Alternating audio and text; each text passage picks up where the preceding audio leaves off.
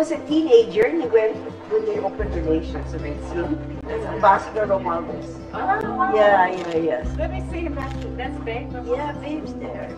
Yeah, Yes. yes. But I'll show a nicer picture. But the ones who actually live there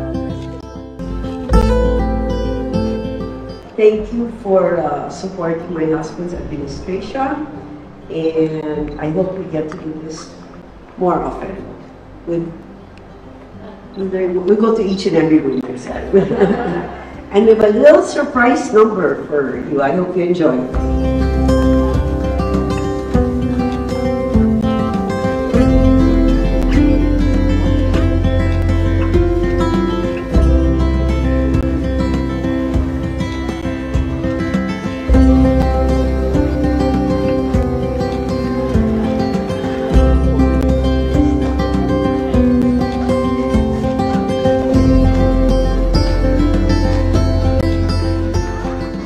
Um, I would like to express our gratitude on behalf of the entire, um, well, the diplomatic uh, community here, the lady ambassadors. We are very, very grateful that you have taken the time today um, to be with us, to share this afternoon with us for your gracious, most, most gracious hospitality. So thank you very much for that. Madeleine Albright said one time that there's a special place in hell for women who don't help other women.